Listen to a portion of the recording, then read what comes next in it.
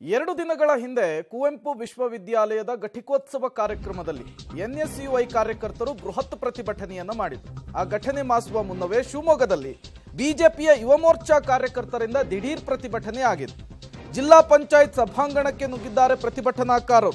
ಶಿಕ್ಷಣ ಸಚಿವ ಮಧು ಬಂಗಾರಪ್ಪ ಸಭೆಯನ್ನು ಆರಂಭಿಸ್ತಾ ಇದ್ದಂತೆ ಪ್ರತಿಭಟನೆಯನ್ನು ಮಾಡಿದ್ದಾರೆ. ಕಪ್ಪು ಬಟ್ಟೆಯನ್ನು ಪ್ರದರ್ಶಿಸಿ, ಧಿಕ್ಕಾರವನ್ನು ಕೂಗಿದ್ದಾರೆ ಪ್ರತಿಭಟನಾಕಾರರು. ಪಠ್ಯಪುಸ್ತಕ ಪರಿಷ್ಕರಣೆಯನ್ನು ಖಂಡಿಸಿ ಈ ಪ್ರತಿಭಟನೆಯನ್ನು ನಡೆಸಲಾಗಿದೆ ಅನ್ನುವಂತಹ ವಿಚಾರವೂ ಕೂಡ ಗೊತ್ತಾಗ್ತಾ ಇದೆ. ನೀವು ಕೂಡ ವಿಜುವಲ್ಸ್ ಅನ್ನು ಗಮನಿಸ್ತಾ ಇದ್ದೀರಿ.